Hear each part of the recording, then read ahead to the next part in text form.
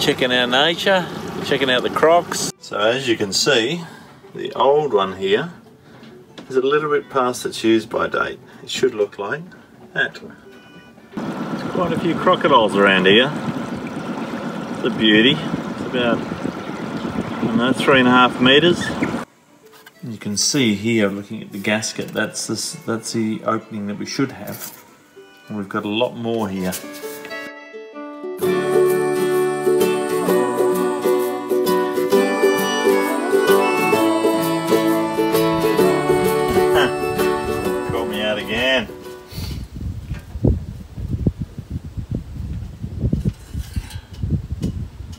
You're going to ask me something?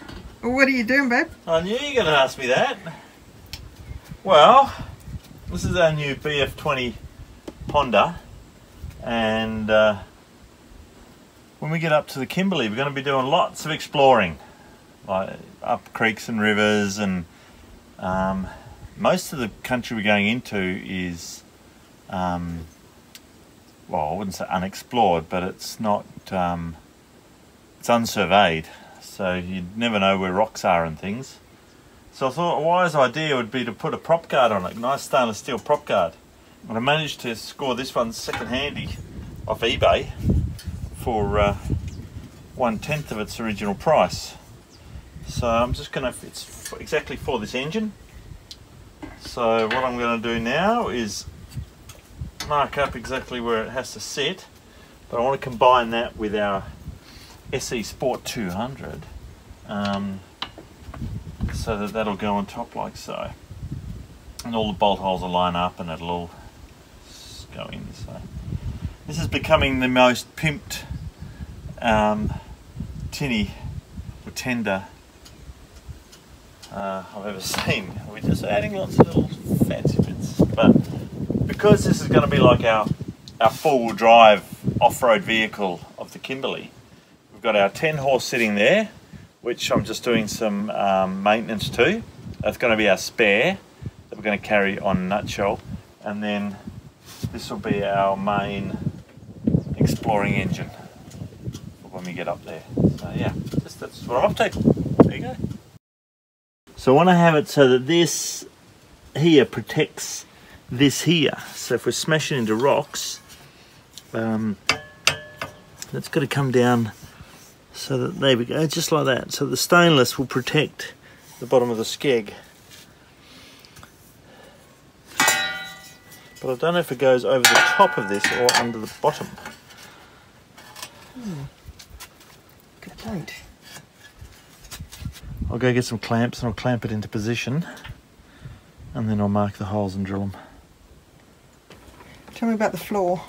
well I'm going to put a hatch in here so that we can store stuff under the floor because there's heaps of room under this floor. So we can like put emergency stuff under there. And yesterday I finished wiring up the electric panel. So we can now switch our nav lights on and off and switch the sounder on and off switch our charging from the engine coming back on and off. I've just got to put a proper battery box in there. I've just temporarily got a brace uh, to the um, over the frame so yeah, that's what I did yesterday. Look at the little lizard under there. See his little head poking out? Little lizard. Um, there he is. what else have I done recently? We've got twin tanks now. We've got our main tank and our reserve tank. And we've also got one more tank, which is for when we do long trips. We'll have, we'll take three tanks with us. I've got to redo these. These are just nasty. Uh, some reflector on. We've got our nav lights on now. So we're all Australian legal. Because Australia are quite anal about little things like a green light. What else have I done to it? That's about it recently. I've, I've, I don't like what's happening here. I'm not sold on this gunnel stri- strip. Well, it, would, it when we picked it up, it was about well, as far as I was concerned, it was about a fifth of the size of Yeah, I thought what it was we going to be a lot expected it to be. I've bought some new vinyl, so that is a lot better than this old stuff we've had for 20 years. So I'm going to make new numbers. I'm not happy with this arrangement. I'm going to think about something different. But anyway, that's another job. So, back to the task at hand, this. I get some clamps, this. If you've been watching for a while, you remember that, um, well, it's a few months now. A few months ago, our uh, voltage regulator started smoking and carrying on and blew up. So it's finally arrived. I ordered it months and months and months ago, but due to um, bits and pieces that are happening at the moment, the new voltage regulator took a while to get here. So that's this morning's job. Back on uh, Nutshell is to refit it. So that's the old one.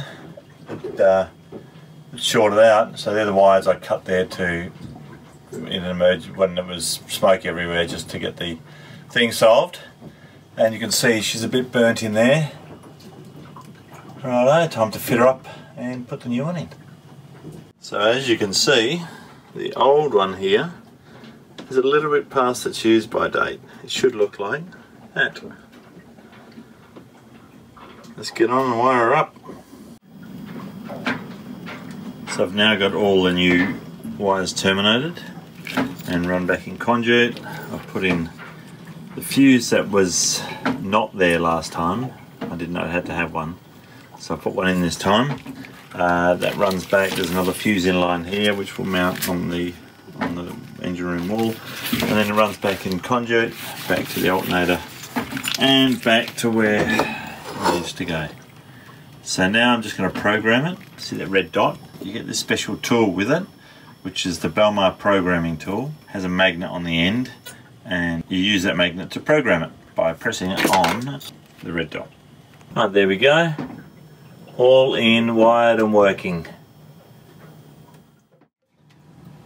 Another little job while I'm down on the boat today is the uh, take out the uh, heat exchanger for the gearbox because if you remember a few months ago he, it, it, developed a leak and it sent raw water down the uh, oil oil line and into the transmission. So we've cleaned all that out now. But I thought I'd take this out and um, take it home in the workshop and see if it can be resurrected. Otherwise we'll have to go and get another one. Well I've got a bit of a dilemma. That's the um, rivet that I need and they're the only rivets that I can get. And now these are all aluminium rivets. The shaft is aluminium and the body is aluminium. So what I thought I might do is to be clever and actually, where are we? And knock the rivet section off the pin, cut it down to the right length and slide it back on the pin to make a different size rivet. So I'm going to give that a crack. So there we go.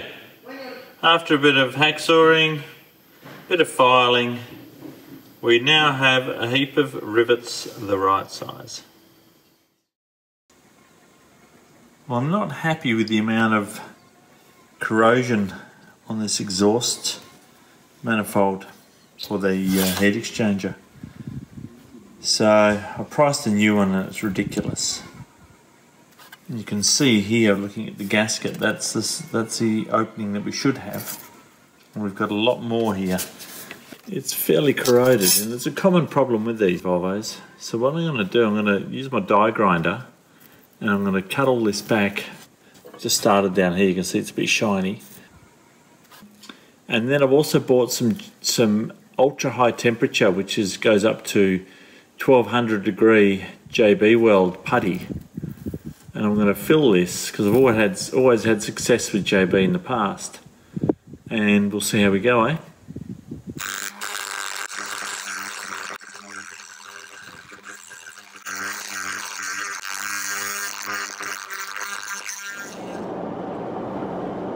Something a bit different today. Um, I'm heading out on Peanut and going to check out our local river, the Proserpine River. Bit of a fish, I've got two um, nets to drop down, see if I can get some mud crabs. I haven't, I've been down the Proserpine River once before, about, uh, oh, it'd have to be a good 10, 12, 15 years ago, with a mate of mine, John. Uh, if you're watching John, you'll remember that day when uh, you, me and, and Shane uh, went down the river, had a great day out. Didn't get any fish or crabs, but we had a great day out.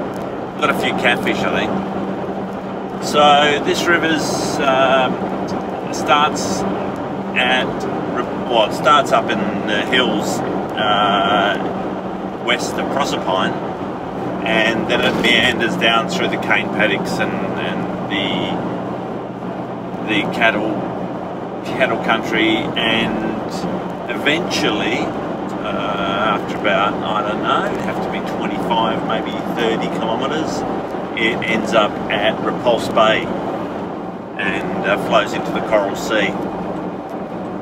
Now, reportedly, the Proserpine River has the highest concentration, so the highest amount of saltwater crocodiles of any any river on the east coast of Australia. So there's an interesting little fact about the Prossie River. To locals, it's just called the Prossie River, uh, or the river, because there really is only one river around here, apart from where we live in the Gregory River.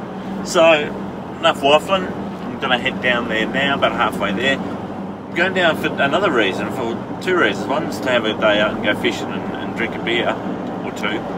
But the other one is I last week I fitted the propeller guard um, to the new outboard, so I want to test that uh, on flat water. I've, headed out going from the ramp, dinghy dock and the ramp out to the boat out to nutshell, but I haven't really tried it in flat water to see the, the difference between not having it and having it as far as performance and economy goes. Because we don't want to sacrifice a heap of performance and a heap of fuel economy to have that guard on. Um, we can, I can cut the guard down a bit and modify it so it's not so bulky because we're not, it's not on there to protect us from the propeller it's there to protect the propeller from rocks. So I'm going to try that. I'm going to see how it goes in, uh, in down the flat water. And uh, I'll get the camera out, film a bit of the countryside for you. Hopefully get a fish. Um, there's a few barra around at the moment, barramundi. So I'm hoping to get a, a good sized barra. The season closes in another month and a bit um, and hopefully get a couple of muddies, a couple of mud crabs. So got all the gear in the dinghy and uh, we'll go out and see how how the day how the day turns out. Check you later. That's the new prop guard. I've just been for a spin with it on and it's hopeless. It cavitates so badly that uh, it's coming off for this trip quite a few crocodiles around here. It's a beauty. It's about, I know, three and a half metres, four metres. They're everywhere.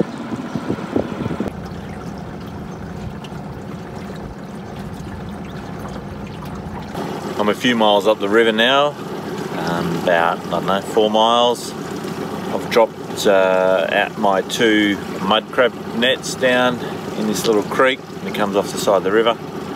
But just enjoying myself really, just uh, checking out nature, checking out the crocs, the birds, um, just trolling along with the line in the water. But uh, I'll stop up here in the deep spot where there's a bit of structure and uh, flick the lure around and see what uh, see what happens.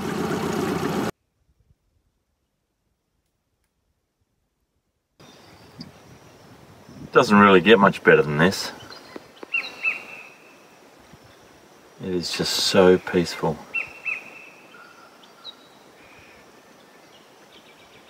Fellow needs a bit of this every now and then.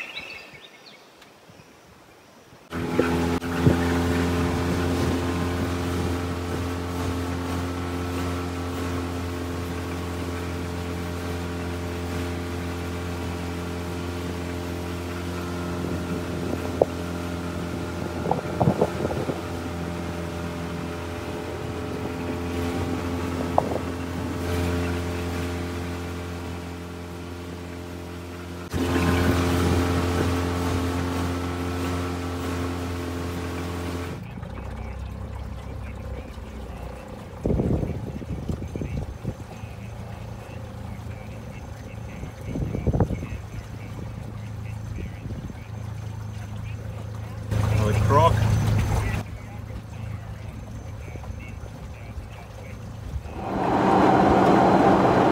That was a great day out. Um, I ended up with six mud crabs, all undersized, so ended up at zero, and uh, one little barra, which was undersized, and a couple of catfish, which I returned. So all I really ended up with was uh, a little bit of sunburn.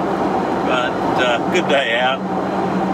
I uh, I tested that that propeller pro uh, protector, and um, I've got to reinvent the wheel there. I think because it just it just didn't want to work. So I'll revisit that one. But otherwise, great day out. Saw a heap of crocodiles. Um, few eagles. Yeah, really nice day out on the Proserpine River.